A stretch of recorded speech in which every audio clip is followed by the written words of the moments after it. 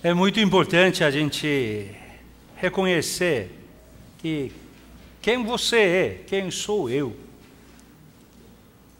Isso é muito importante. O que é uma educação? O que é uma maturidade? Nada mais. A pessoa saiba bem, de acordo com a sua idade, de acordo com a estação da vida, conheça e reconheça quem você é. Porque a gente fala, aquela pessoa é criança demais, criancice. Criança não sabe, de acordo com a idade, não sabe quem ela é, não sabe hora de falar, hora de dormir, hora de comer, hora de ficar quieta. Criança não sabe. Criança não sabe quem ela é. Se berra, pensa que vai resolver as coisas se chora, faz uma coisa besteira, deixa seu pai, sua mãe envergonhada, e assim pensa que vai ganhar alguma coisa. E essa criança vai ser educada, tá? Educada. Coloca suas crianças, seus netos, boa escola, tá, pessoal? Não economiza dinheiro para educação, tá? Não faz isso, tá? Eu vejo nossas crianças, nossa igreja é boa, mas tem criança que tem que educar. Senão já eu vejo o que vai acontecer, que você vai sofrer muito. Tá? Então, é exatamente o homem tem que saber quem você é. Você é solteiro, mas agora você é casado, já é diferente. Você é empregado, uma companhia, qual é a sua posição? Qual é a sua responsabilidade? Homem tem que saber quem você é.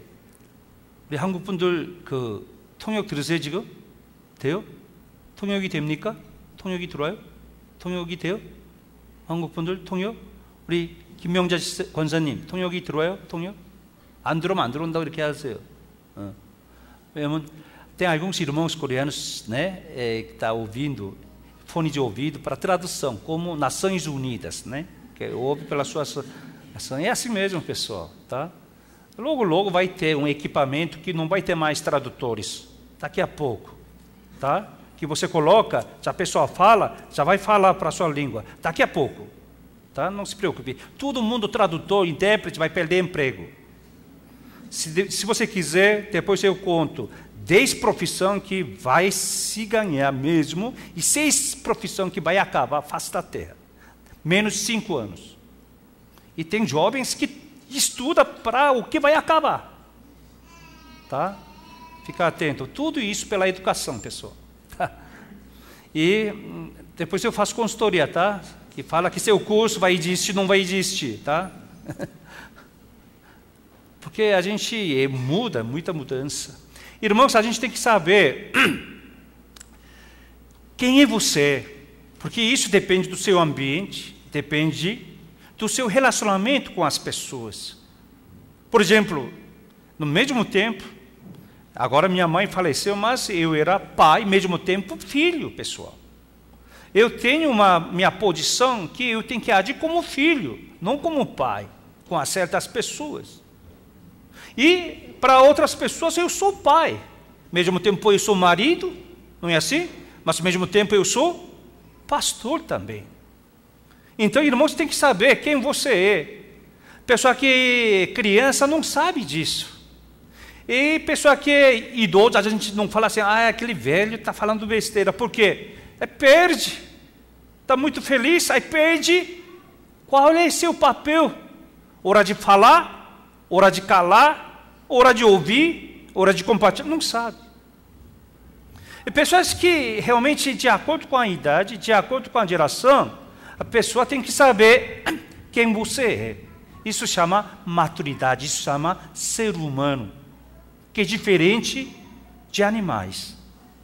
E hoje palavra sai, que a gente tem que saber. Quem somos nós? Agora, nossa pergunta é: quem somos nós diante de Deus? Diante de Deus, somos o quê? Criador, criatura. Somos criatura. Então, Deus é o quê? Para nós, Ele é Criador, Deus Criador. Ele é Deus Criador. Somos criatura. E você tem que saber. Essa criatura pode reclamar alguma coisa para o Criador? Não é assim. E isso que está falando, versículo 19, 20. Vamos lá todos juntos, versículo 19 e 20. Todos juntos já. Tu, porém, me dirás, de que se queixa ele ainda, pois quem jamais resistiu à sua vontade? Quem és tu, o homem, para discutires com Deus? Porventura, pode o objeto perguntar quem o fez? E porque me fizesse assim? Isso que está falando. Você não pode falar. Pelo menos filha, filho, você não pode falar para os seus pais. Por quê? Porque você me gerou. Você não pode falar. Mesmo que você tenha raiva da sua mãe e seu pai, mesmo que você tenha raiva de seus pais, eu tinha raiva da minha mãe. Por quê? Porque me trouxe aqui, Brasil. Desde seis anos, desde sete anos, como clandestino, eu tinha raiva. Mas eu não tinha pôde perguntar para ela, porque eu era filho. Também, se reclamasse, apanhava, né, naquela época. Então, não pela sabedoria, com medo. Mas eu não posso perguntar, minhas filhas não podem perguntar, eu não quis nascer. Não pode falar besteira. Não é assim. Tem coisa que você pode falar, coisa que você nem pode botar na sua língua. Isso é tudo o quê? A pessoa tem que receber educação e crescer. Pode ser. Pessoal, pode ser mãe, pai horrível. Pode ser. Pode... Geralmente não é, tá? Mas mesmo assim, você não pode reclamar. Eu não quis nascer. Isso não tem cabimento. Não é assim nascimento. Nascimento não é assim. Tá? E assim, diante de Deus, diante de Deus, nós somos criatura. Tá? A gente não pode reclamar porque você fez assim. Eu não posso reclamar para Deus. Porque você me criou coreano, não brasileiro. Aí Deus falou: Você quer brasileiro mesmo? Eu quero brasileiro. Tá bom. Aí ele me mostrou, era índio. Eu falei: eu, não, eu prefiro coreano mesmo. Brasileiro não tem. Jung não tem brasileiro. Por chama brasileiro. Se não chamava brasiliano, coreano, americano. Aquele, Brasil, aquele que vive pelo Brasil, brasileiro. Aquele que vende para o Brasil, chama brasileiro. Cabeleireiro, sapateiro, brasileiro. Entenda quem você é. Tá? Aí que você sabe como você atuar como você viver, como você tratar. Diante de Deus, a gente não pode reclamar, porque o Senhor me salvou, não salvou Ele.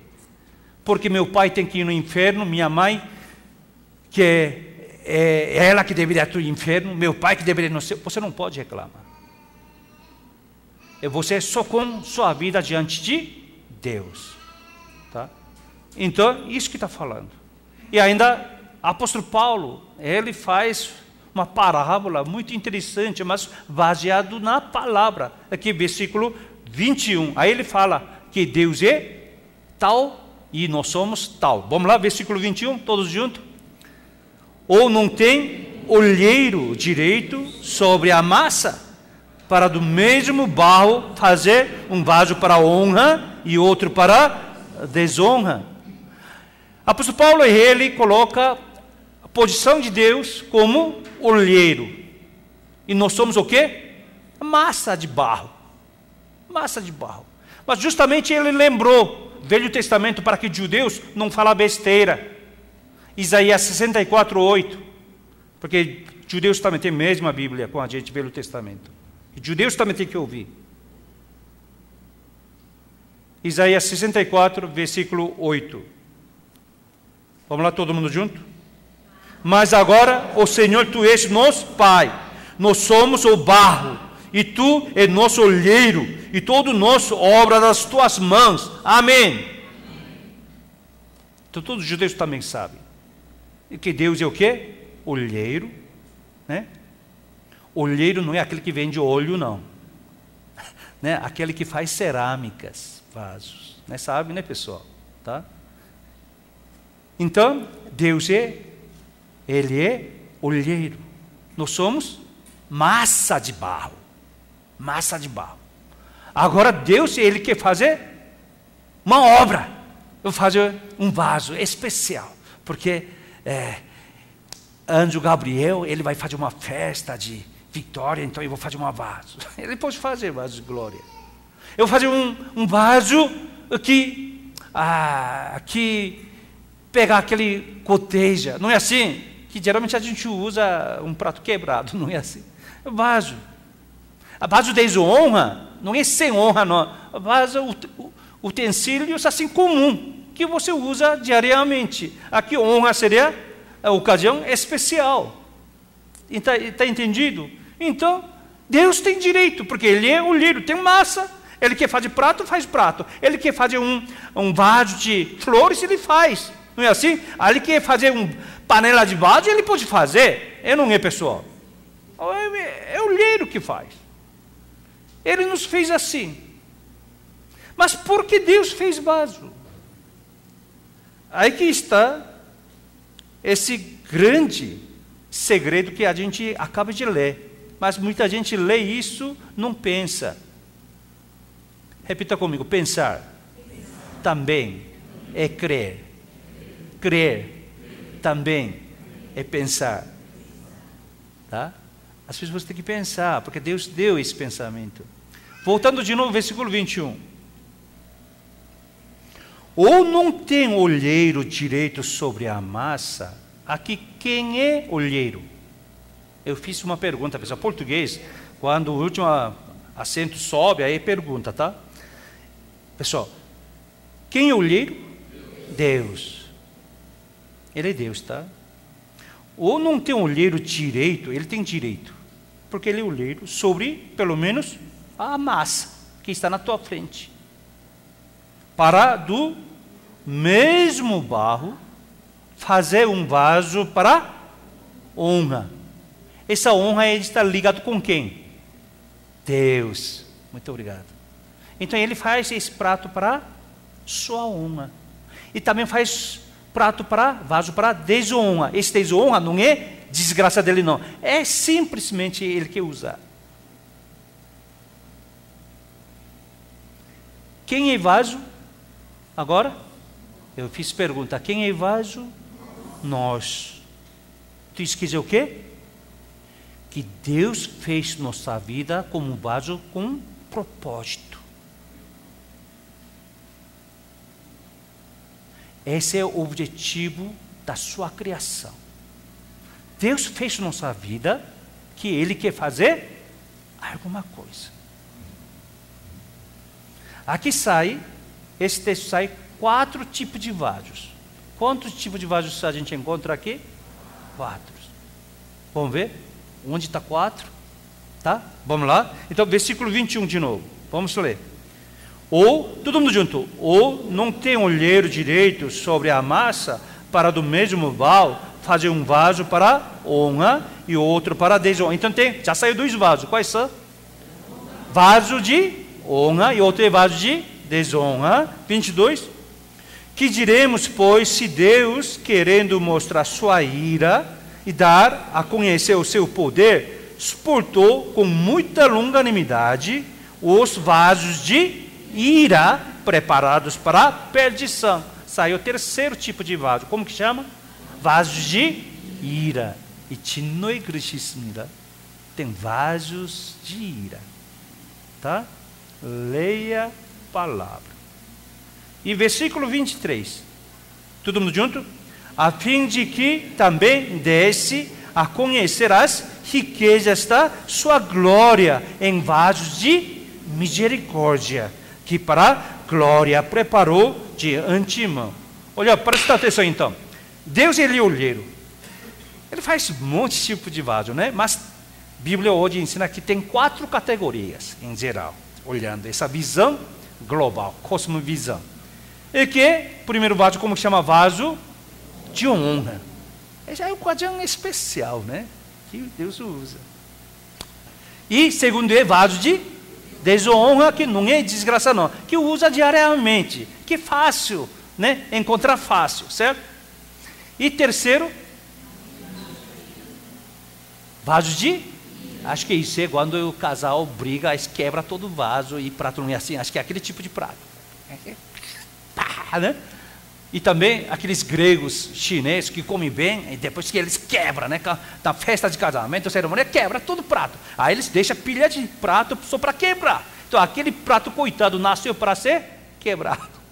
Assim. Mas Deus fala assim: existe vasos de ira.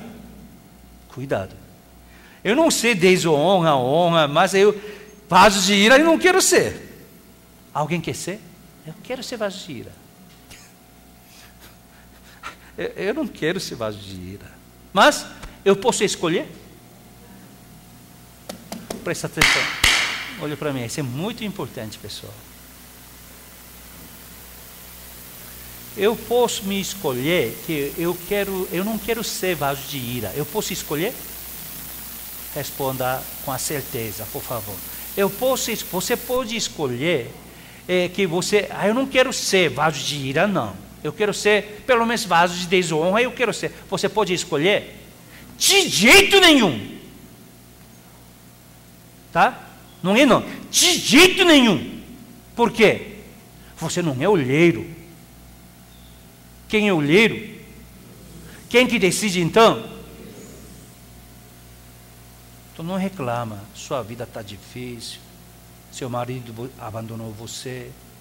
Seus filhos estão te xingando perdeu desemprego, você virou órfão, sua namorada casou com seu melhor amigo. Não, acho que o último você não descuidou um pouco. Não apresenta sua namorada para amigos, não, tá? Pela minha própria experiência. Ô pessoal, é assim. Existe vasos. Mas o último vaso chama vaso de. Mas eu pergunto, irmãos, olha para mim, agora não pode colar, olha para mim. Eu, eu quero ver que realmente você se lê Bíblia. Por isso, fácil manipular esse povo. Só expulsar demônio e a igreja vai encher aqui. Tem algumas pessoas que dá para trabalhar, que está cheio de demônio. Mas que vaso que Deus coloca a glória. Olha para mim, tá vendo? Está tá querendo colar já. Hã? Qual vaso? Vaso. Que, que, vaso de honra.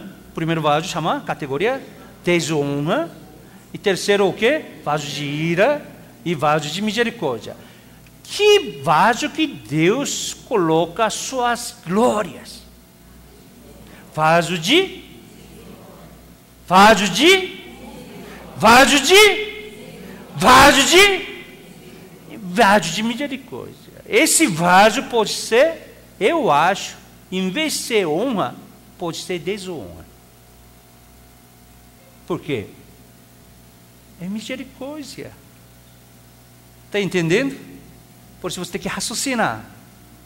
A palavra está aí de acordo com a sua espiritualidade, de acordo com iluminação de Deus e Espírito Santo, a pessoa consegue captar, usufruir essa palavra de Deus. Todo mundo lê, mas não vai entender. Assim que Deus escreveu. Tá? Então, que vaso que você gostaria de ser, Érica? Vaso de honra, né? Ela, agora ela quer ser misericórdia. É, misericórdia, quem recebe misericórdia? Repita comigo: quem recebe misericórdia? Um ser miserável. Não é assim? Por isso você precisa de misericórdia. Pessoa de gente boa não precisa misericórdia, porque você está detonada, acabada, você não presta mesmo, aí você precisa o quê? Ah, pelo menos misericórdia. Pela, não é assim? Então você é miserável. Érica, você é miserável. Ela já não gostou. Não é assim, pessoal. A gente tem que entender. Mas interessante aqui, versículo 23, que nos chama a atenção. Vamos ler mais de uma vez? Olha aqui, ó. A fim de que também desse conhecer as riquezas da sua glória em vasos de misericórdia aqui para glória preparou de antemão. Aleluia. Então eu vejo. Eu não quero viver, Érica, miserável. Eu não quero ser pastor miserável. Mas às vezes a gente fica assim. Né? Hoje de manhã também, a gente fazendo discipulado. Eu fiquei muito feliz. Sete horas da manhã, oito homens. Né? Pessoas ora por eles, né? Para eles não abandonarem, tá? Aí eles já me ameaçaram, já. Me ameaçou. Ah, que pode ser, não pode ser duro, não pode ser. Pergunta para a pessoa, que isso é a coisa mais leve que estou fazendo. Mas é, eu fui, fui intimado já hoje. Mas, pode perguntar, presidente da classe que é Davi, eu, eu fiquei bravo? Não. Antes, se fosse, eu, pode sair. Eu falava na hora. Está cheio de pessoas fa fazer discipulado. Pode sair. Pode retirar, irmão. Mas hoje não. Falei, sim, eu vou fazer mais leve ainda. Aí Deus me olhou, seu miserável. Mas eu derramo minha misericórdia sobre você. O que eu preciso é misericórdia de Deus. O que você precisa é misericórdia de Deus. Aí você só agradeceu porque você recebeu misericórdia de Deus, mas depois vê num selvagem cheio de glória de Deus. Aleluia. Mas cara, se não ensina só falar de demônio. Não é assim que funciona. O que, que é demônio diante de Deus? Eu, eu não quero fazer, eu não quero expulsar nenhum demônio aqui. Só de entrar, demônio já tem que fugir. Aqui. Aqui não entra demônio. Não é assim. Tenha a palavra firme, entenda a palavra, poder da palavra.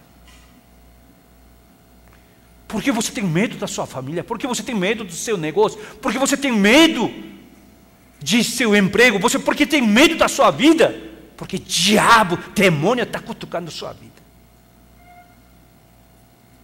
colocou preocupação.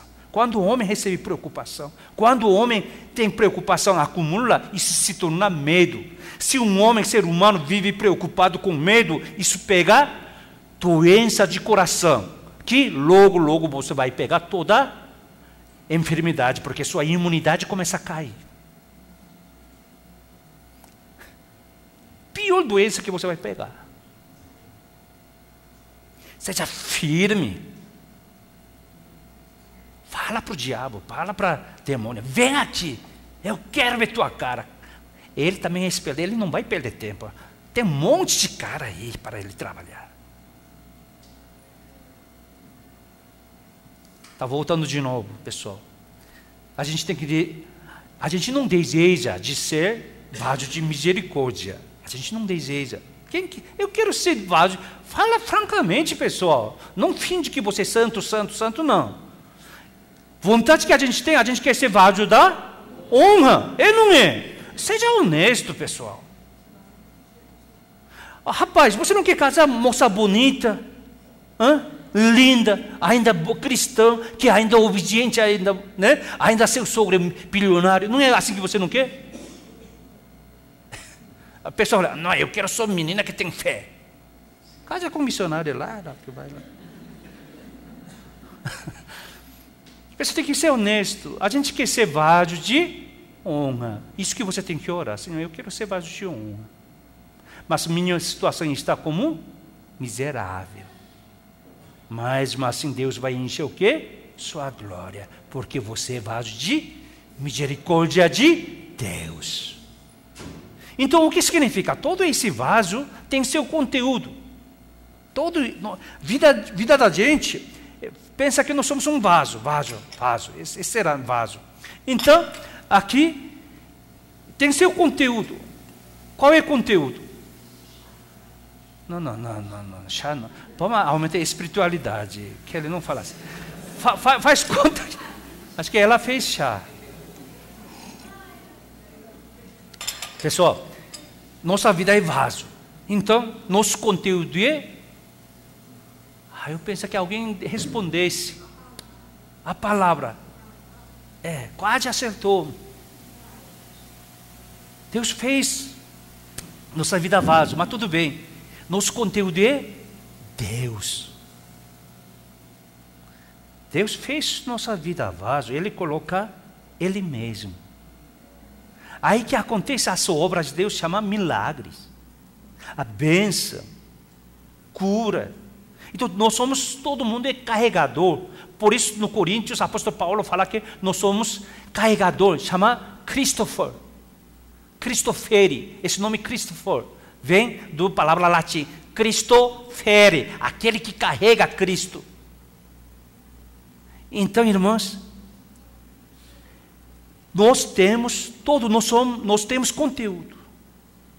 Só que eu quero conteúdo honra, glória de Deus. Não conteúdo ira de Deus, pessoal. Então é isso que a gente tem que ver. Não viva esse papel de ira de Deus. Isso que está colocando. Tudo bem, pessoal? Então colocou assim. Agora, versículo 24, vamos lá?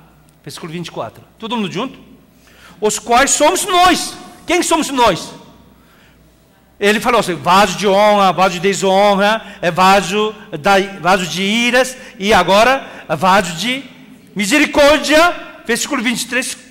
Vasos de misericórdia que para a glória preparou de antemão, vírgula 24. Os, esse osso objetivo está referindo vasos de misericórdia. Isso aprende na objeto direto, isso aprende no português, tá? Os quais somos nós. Dizer que o que nós somos? Vaso de misericórdia. Então, Érica, você acertou. Nós somos o quê? Vaso de misericórdia. Por quê? Todos nós somos. Por quê? Continua. Os quais somos nós, a quem também chamou, não só dentre judeus. Aqui tem judeu. Levanta a mão. Pode ser judeu, judeu. Tem um judeu. Mas a gente não é judeu. Está entendendo? Ele está falando. Porque somente judeu era povo de Deus. Então, o apóstolo Paulo falando. Não. Somos o quê? Vaso de misericórdia. E somos nós que chamou não só dentre os judeus, mas também dentre os gentios. Sabia disso? Ponto de interrogação. Sabia? Perguntando. Porque pessoal, muita gente não sabe. Hã? Versículo 25. Agora, apóstolo Paulo, é, eu vou comprovar, não com o Novo Testamento, senão judeus vão reclamar, então eu vou comprovar isso com Velho Testamento só. Aí ele pegar dois grandes profetas do Velho Testamento. Primeiro é Oseias, versículo 25. Todo mundo junto? Assim como também diz Oseias, chamarei povo meu ao que não era meu povo. Amada, a que não era amada. Sou eu. Eu sou coreano, que imigrou para o Brasil, hã? quase brasileiro, ou mais do que brasileiro, né? Não é assim? Eu sou brasileiro decisivo, vocês são brasileiro acidental. Né? Por quê? Porque seus pais ancestrais vão imigrar para o Brasil. Eu também. Eu vou para o Brasil. Eu vou viver como brasileiro. Chama brasileiro decisivo. Aí esses pais, minha filha, né? Que a gente encontrou, amou, casou, amou, por isso que nasceu. Brasileiro acidental. Mas a gente não. Eu queria ser brasileiro. Tá, pessoal? Não fala, não me chama de estrangeiro. Mas tudo bem, não era povo judeu, não era povo de Deus. Roseia não disse, já não profetizou, Deus vai amar que não era seu povo, chamará seu povo. Deus chamará aquele que não amou. Versículo 26. Todo mundo junto. E no lugar em que lhe disse: Vós não sois meu povo, ali mesmo serão chamados filhos de Deus vivo. Aleluia! Somos nós. Não é feliz, não? Não está feliz. O que, que vai ser almoço hoje? É assim? Não, está feliz. Pessoal, quando fala assim, eu motivo para chorar, agradecer. Porque Deus me chamou. Porque, Co, você meu, meu filho. Amém. Eu sou seu filho, Senhor. Versículo 27. Todo mundo junto, 27. Mas, relativamente a Israel, deles clama Isaías. Todo mundo junto? Ainda que o número dos filhos de Israel seja como a areia do mar, ou remanescentes. Não é tudo judeu que vão ser salvos, não. Remanescentes. Aquele que continuou. Aquele que continuou o quê? Aquele que sobrou. Quem que sobrou? Aquele que confiou somente no Senhor Jesus Cristo. Aí judeu também vai entrar. Quem falou isso? Isaías. Roseias. Continua versículo 28. Porque o Senhor cumprirá sua palavra sobre terra, cabalmente em breve. Aí já aconteceu a noite. Continua 29.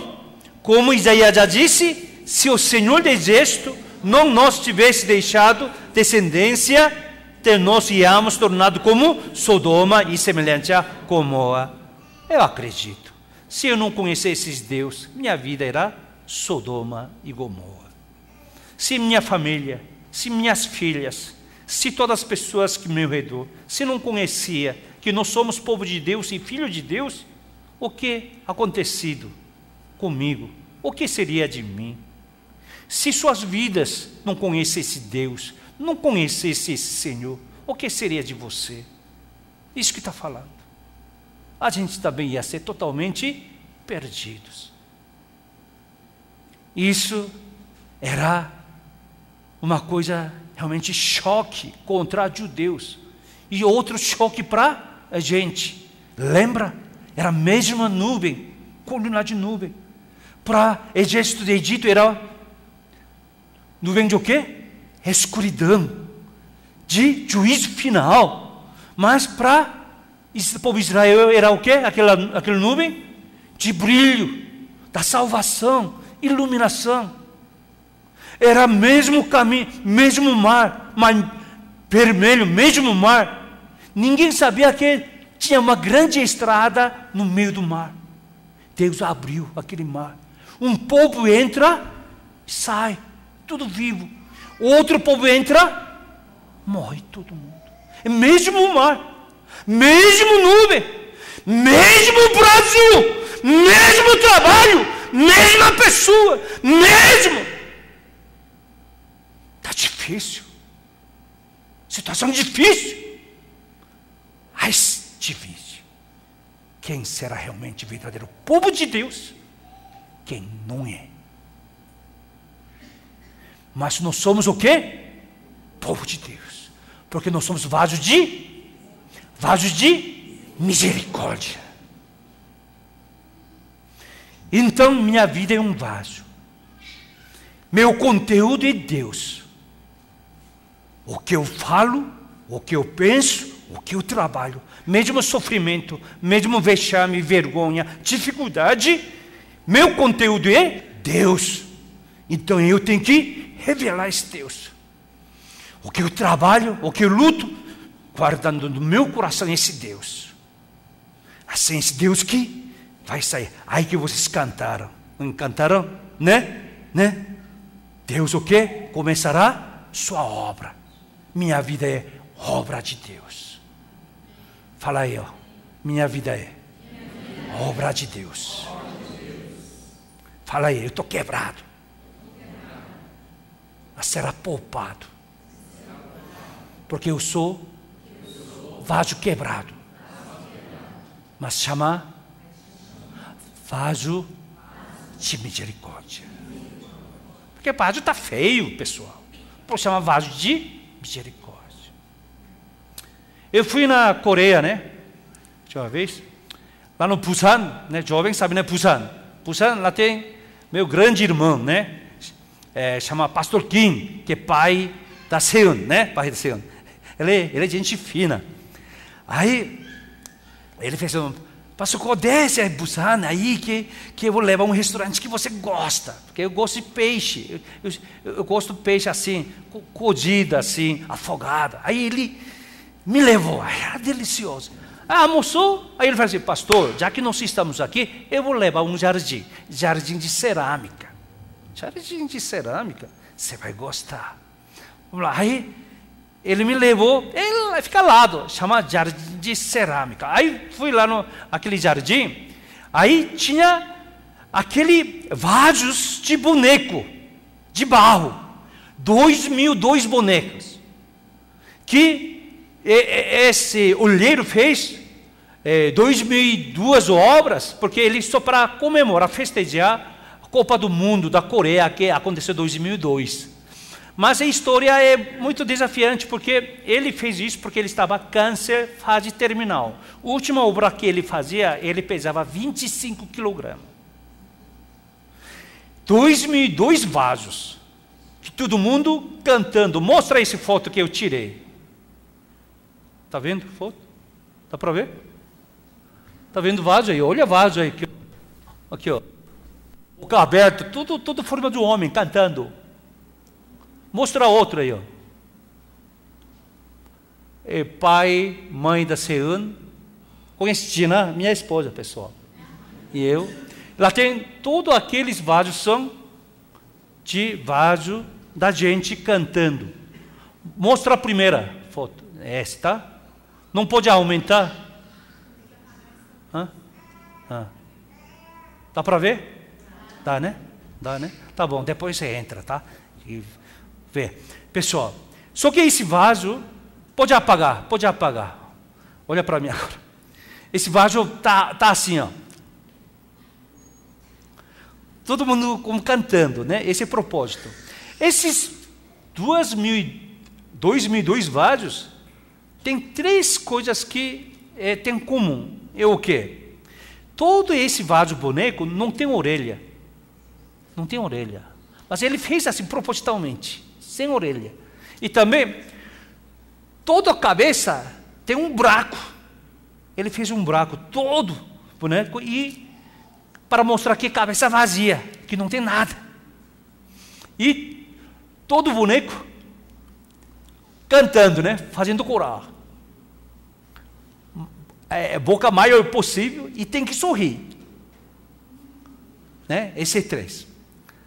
Aí pergunto, por que você fez isso? Porque estava escrito. Ele não fez orelha. Por quê? Quando ele pegou câncer, muita gente queria ajudar ele. Amigos, família, parente. Todo mundo falava sobre receita. Doença dele, câncer era um, único, mas receita era mais mil. Aí ele falou que aprendeu uma coisa: melhor fechar meus ouvidos. Pessoas querendo me ajudar, mas tanta coisa besteira que eu ouvi. Só piorou sua saúde. Então ele falou: Eu não vou fazer orelha do esse vaso, boneco de vaso, né? E, e que eu não vou ouvir voz do mundo. Cabeça vazia o buraco. Por quê? Porque eu só pensava do passado. Eu só pensava dos meus pensamentos de ser humano. Eu quero esvaziar tudo. Então, todo 2002 boneco, cabeça baixa. E tudo, o terceiro é muito interessante. Ele fez boneco que não ri, ele quebra. Faz outro. Boneco tem que rir. Claro, ele que faz, né? Como é vaso, ele não sabe o que, que vai sair, né? Porque tem que assar, né? Porque tem que passar tempo né? Aí, vaso assado, quando ele retira, ele fez assim, né? Mas sabe assim? Aí ele quebra. Pá! Porque ele é olheiro. Você está triste? Ninguém está triste? Mas você tem que responder assim: Pastor, eu estou triste. Você está desempregado? Não responde assim, eu estou desempregado. Não, eu estou desempregado. Eu estou com cheio de problema. Senão Deus vai quebrar tudo. Aí você vai ser vaso de ira. Terminando a palavra de Deus aqui. Irmãos, terminando essa palavra, para eu lendo os últimos versículos, versículo 30 adiante, que Cássio vai mostrar. Que diremos, pois, que os gentios que não buscavam a justificação vieram alcançá-la. Todavia, aqui decoi da fé. A gente agora, pela fé, estamos aqui. Israel, que buscava a lei de justiça, não chegou a atingir essa lei. Deus fez aquele vida deles vaso de honra, mas se tornou vaso de ira.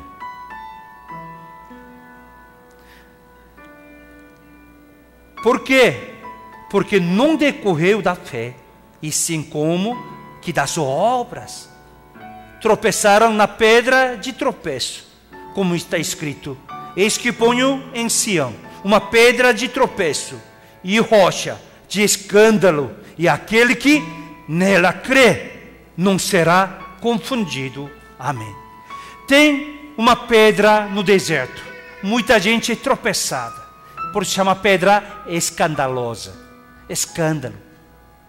Em inglês não fala scandal. Scandal vem essa palavra escândalo, significa aquele que pegou pedra de tropeço, tropeçou por causa de Pedro. Chama escandalizar. Mas, para a gente, essa pedra se tornou o quê? Pedra de stepstone. Pedra para subir, aproximar mais a Deus. É a mesma pedra. Para um povo, essa pedra para tropeçar. Para outro povo, essa pedra é o quê? Se tornar altar a Deus. Altar. E aproximar a Deus. Então, irmãos, é isso que nós hoje compartilhamos. Queremos ser vaso da honra. Disse aqui, Cássio, 2 Coríntios 4, 7. Vamos ler todo mundo junto? Temos, porém, este tesouro em vasos de barro, para que a excelência do poder seja de Deus, não de nós. Somos vasos de barro mas tem cheio de tesouro de Deus. Para que a gente não se banca, vanglória, que nós temos poder. Pelo contrário, somos vasos de barro. Mas quem tem poder é Deus. Segundo Timóteo, capítulo 2, versículo 20 e 21. Vamos lá todo mundo junto? Ora, numa grande casa não há somente utensílio de ouro e de prata há também de madeira e de barro. Alguns para honra, outros, porém, para desonra. Assim, pois, se alguém a si mesmo se purifica destes erros, será utensílio para honra, santificado e útil ao seu possuidor, estando preparado para toda boa obra. Amém. Então, irmãos, mesmo que você é vaso de barro, vaso quebrado, danificado, que você não tem esperança, está errado. Porque Deus é Deus de misericórdia. Você é um vaso que Deus fez. Deus enche cheio de sua glória, seu poder. Seu tesouro no vaso de barro. Vaso quebrado. Se chama vaso de misericórdia. Amém? Oremos.